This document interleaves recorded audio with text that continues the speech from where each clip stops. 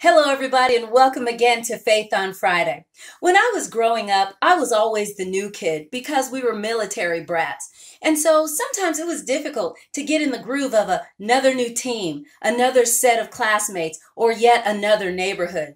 And sometimes, without realizing it, I would go home and tell my parents things like, they wouldn't let me play.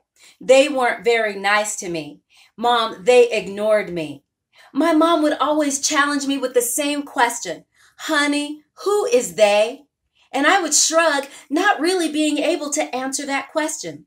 How many of us now are using the same things?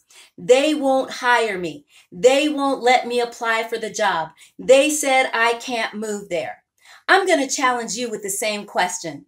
Who is they? As I've learned, they isn't really a group of people. They is something that we have put in our head, and their name is fear, anxiety, worry, doubt, and past experience. That is the they we are always talking about, no matter what it is.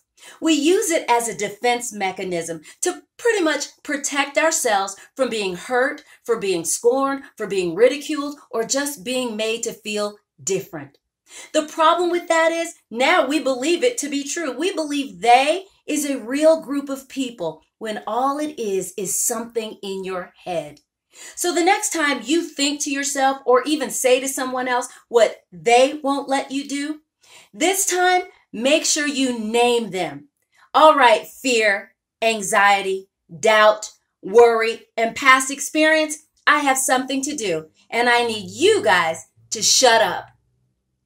Thank you everybody for watching and thank you so much for sharing the videos. My name is Rikki Smith and I'll see you next Friday.